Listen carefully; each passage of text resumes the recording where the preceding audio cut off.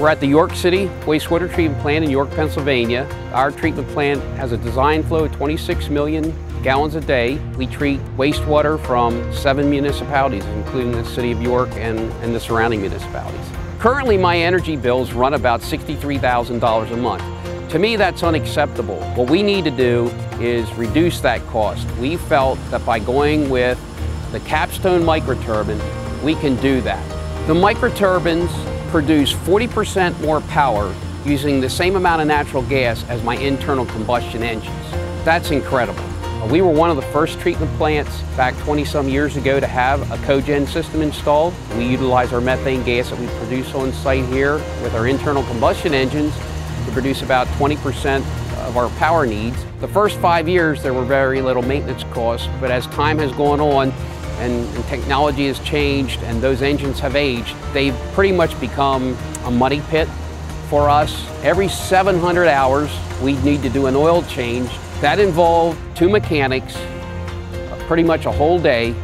It also involved using 110 gallons of oil. What we really needed was uh, a new technology, uh, a more efficient technology in order to generate electricity. One of the options was that we would reuse or uh, refurbish the existing reciprocating engines. Uh, but when we were looking at that as an option, we determined that uh, A, wasn't cost effective, B, we were reaching back in technology instead of looking forward to new technology. Uh, we wanted to look for an opportunity to invest in future infrastructure development, not look to the past. And that's why we went with the microturbines. Through the evaluation, it was determined that the capital costs, the upfront costs, were not that much difference between the engines versus the microturbines.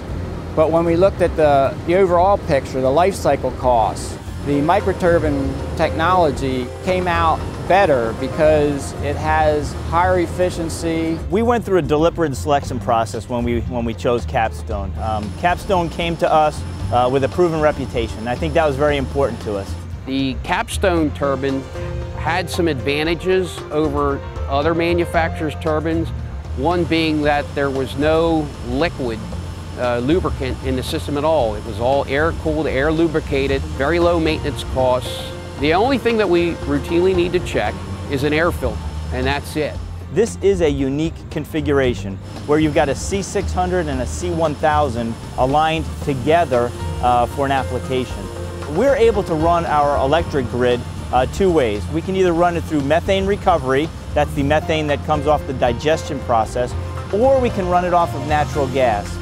Why was that important to the authority? Uh, we needed redundancy.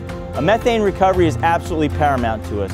We've got a renewable source of energy right here in the digestion process. Well, it's important because we need to, you know, continually warm the digesters. And what we do is we put the hot water back into the digesters and that allows more gas to be produced and the turbines to run. The turbines run, they make baseload electricity 24-7 and then the hot water again is reused in the digesters. The other thing is that people don't think about at a wastewater treatment plant is we also have the air to deal with. These microturbines uh, emit so much less air pollution than the engines that we currently run, to the point where I may not even have to report to the agency, the DEP, the amount of pollutants. It's going to be negligible. I am confident that if I need to reach out to Capstone, if I need to reach out to eFinity, they're going to be there for us. They're going to be standing beside us to assist us through the process.